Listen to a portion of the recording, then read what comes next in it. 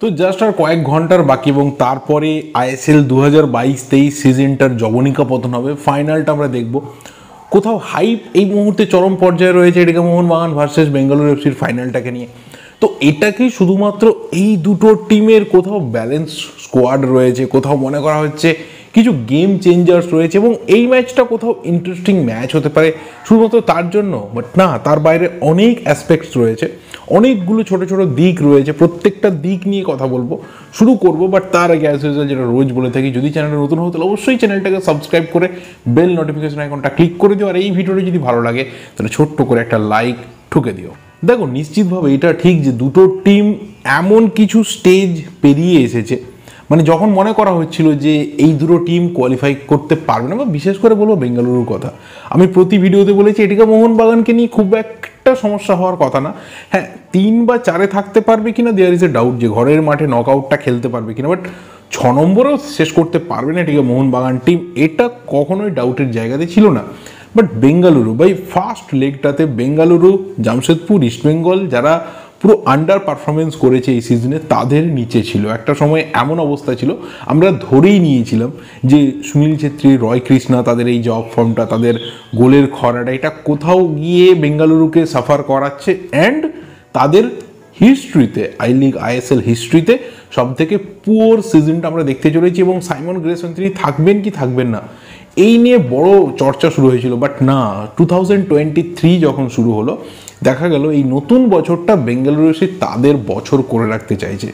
That was a great comeback যেভাবে ওই জায়গা থেকে ফাইট ব্যাক করে বেঙ্গালুরু ফিরলো, এমন কিছু প্লেয়ার যাদের খেলার চরিত্রটা বদলে গেল, শিবাশক্তির একটা আলাদা আমরা উত্থান দেখতে পেলাম। অ্যান্ড এখানে সারপ্রাইজিংলি বলে রাখা ভালো যে শিবাশক্তি কিন্তু এমার্জিং প্লেয়ার অফ দ্য টুর্নামেন্টটা জিতে গেছে। তো শুধুমাত্র বাকি রয়েছে বলা চলে গোল্ডেন বুট সেটা ম্যাচের অবশ্যই রেজাল্টের ওপর বা পেত্রাতসের পারফরমেন্সের ওপর বিচার করবে and as well as golden বলটা সেটাও কিন্তু একইভাবে তার পারফরমেন্সের ওপর জাজ করে থাকবে। তো এই দুটো অ্যাওয়ার্ডই কিন্তু বাকি রইল। যেটা বলছিলাম যে এই যে বেঙ্গালুরুর রানটা কোথাও পুরো চেঞ্জ হলো, কোথাও প্লেয়ারদের ক্যারেক্টার চেঞ্জ হলো সামহাও তাদেরকে আস্তে আস্তে ফেভারিট করে দিচ্ছিল এবং প্রত্যেকটা ম্যাচে যখন মনে হচ্ছিল, না, এই ম্যাচটা বেঙ্গালুরু পারবে না। আর যখন সেমিফাইনালে এসে মুম্বাই সিটি এফসিকে ফেস করল বেঙ্গালুরু, তখন আলোচনা ছিল যে না, মুম্বাই সিটি এফসিকে হারানোটা পসিবল না। একটা ম্যাচ ঠিক আছে হয়ে গেছে ফুল টিম ছিল না হোয়াট এভার বাগেরা বাগেরা পসিবল না তাদেরকে হারানো। বাট দেখা গেল দুটো লেগে কিন্তু অলমোস্ট ডমিনেট করল। বেঙ্গালুরু এফসি এবং পেনাল্টি শুট আউট ম্যাচটা জিতে এলো। এই যে রানটা, এই রানটাকে কোথাও বেঙ্গালুরু কোচ ক্যাপ্টেন প্রত্যেকেই যেটা বলেছে যে ফাইনালে উইন করে ট্রফি জিতে তারা এই রানটাকে কমপ্লিট করবে। আর অপর দিকে যদি ভাই এটিকে মোহনবাগানের দিকে তাকানো হয়, তাহলে আমি বারবার বলেছিলাম যে শুরু থেকে পেপার পেনে এই টিমটা সব থেকে ব্যালেন্সড স্কোয়াড কারণ যা টিম ছিল, সেই টিমটা যথেষ্ট ছিল মাইলেজ দেওয়ার জন্য। তার সাথে এমন কিছু প্লেয়ারের এবার ইনক্লুশন করেছিল এটাকে মোহনবাগান ম্যানেজমেন্ট যে সামহাও একটা আলাদা চার্ম তৈরি হয়েছিল। ডান দিকে আশিস রায়ের ইনক্লুশন এবং বাঁ দিকে আশিক কুরুনিয়ান ইনক্লুশন এই যে দুটো ইনক্লুশন এই দুটো ইনক্লুশন কোথাও এটিকে মোহনবাগানকে শুরুতে মাইলেজ দিয়েছিল বাট তারপর দেখো প্রচুর সমস্যা হয়েছে, চোট আঘাতের সমস্যা হয়েছে।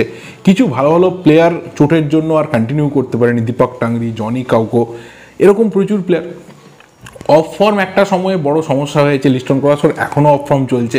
অনেকে হয়তো এখান থেকে ড্রিম করছে যে ভাই ফাইনাল অন্তত সেই ম্যাচটা হতে পারে, যেখানে লিস্টন ক্রসর কোথাও কাম করতে পারে।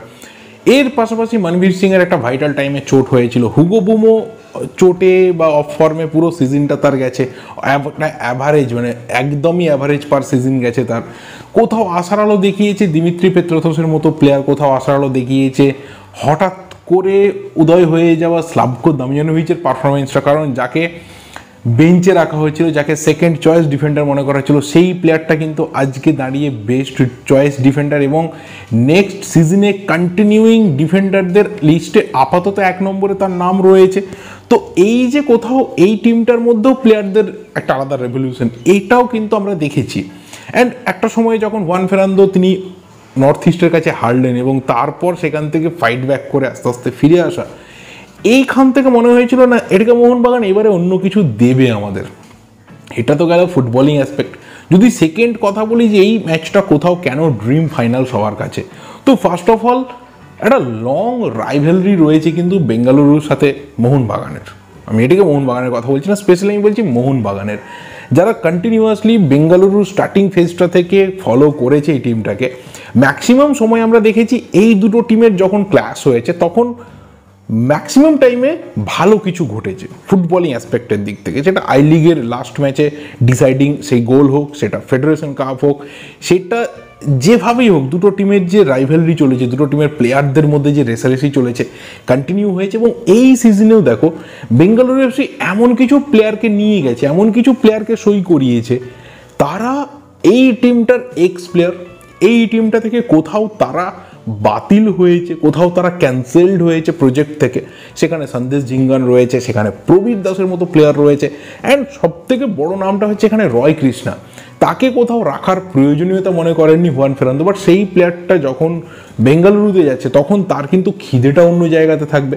এর পাশাপাশি আরও এক দু সিজন পুরনো প্লেয়ার যেমন হাভি হার্নান্ডেজ, যেমন জায়েস রান, এরকম প্রচুর প্লেয়ার রয়েছে যারা কিন্তু এটাকে মোহনবাগানের একটা বড় প্রজেক্টে সামিল ছিল বাট পরবর্তীকালে হুয়ান ফেরান্দোর যেটা ভিশন সেখানে তারা কোথাও আস্তে আস্তে বাদ হয়ে যায়।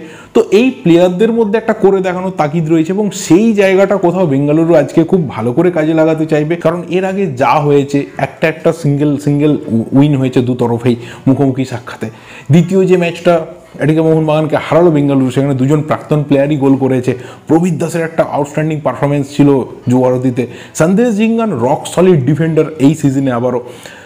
এই যে একটা ভোকাল টনিক থাকবে বেঙ্গালুরু কোচের যে এই প্লেয়ারদের কাছে somehow you have to prove আমার মনে হয় কোথাও সেই ম্যাচের উত্তেজনাটা অনেক বেশি করে বাড়িয়ে দেবে। আর উল্টো দিকে যদি এটিকে মোহনবাগানকে দেখা হয়, তাহলে আমার মনে হয় কোচের সব থেকে বড় ভোকাল টনিকটা থাকবে যে নিজেদেরকে চেনানো সব থেকে বড় ম্যাচ কিন্তু আজকে। কারণ তোমরা দুটো সিজন আগে ফাইনালে গেছিলে ইউ ফেল্ড সেকেন্ড সিজনটা মানে গত বছর, তোমরা সেমিফাইনালে প্রথম ম্যাচটাতে যেভাবে হেরেছো, পরের ম্যাচে কাম করার পরেও আর কিছু করা যায়নি। বাট এই সিজনে এই ম্যাচটাতে সব কিছু প্রুভ করতে হবে, কারণ অনেক নেগেটিভ দিক হয়েছে গত দুটো সিজনের থেকে অনেক মানে তুলনামূলক কম ভালো সিজন গেছে, খারাপ বলব না, কম ভালো সিজন গেছে লাস্ট দুটো সিজনের থেকে। সো কোথাও প্রুভ করতে হবে যে না, ওই দিনগুলো বা ওই ম্যাচগুলো কোথাও that was a bad days in office সেই জিনিসগুলো ছিল। এই যে দুটো টিমের ভোকাল টনিক থাকবে, দুটো টিমের প্লেয়ারদেরকে চেয়ার আপ করার রাস্তা থাকবে দুজন কোচের হাতে, এটা কোথাও একটা দর্শনীয় জিনিস হবে গোটা ম্যাচটা জুড়ে।